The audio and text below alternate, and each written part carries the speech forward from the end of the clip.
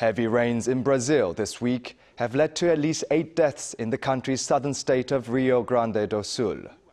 That's according to the Brazilian Civil Defense Service on Wednesday, who said that 21 people were reported missing.